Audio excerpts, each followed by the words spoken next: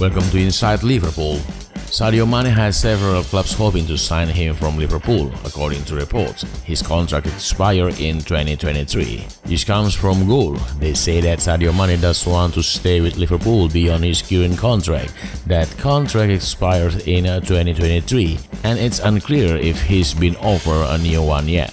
What is apparently clear is that there is a line of clubs hoping to give him a decision.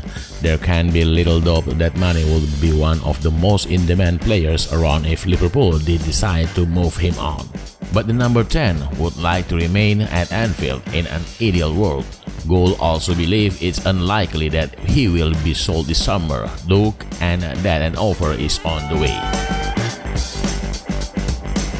Mane is relaxed about the situation, for now anyway. Mohamed Salah's contract situation was distracting from both Mane and Roberto Firmino also entering the final year of their deals. And just like that, we get the first report on Mane's situation for quite some time. Unfortunately, it's not a major update and no one really seems to know how Liverpool plan on going about all of this. It's one thing to have a star player entering the final year of his deal. It's another to have your entire forward line doing it. But that's the reality here, and Liverpool certainly appear relaxed about it.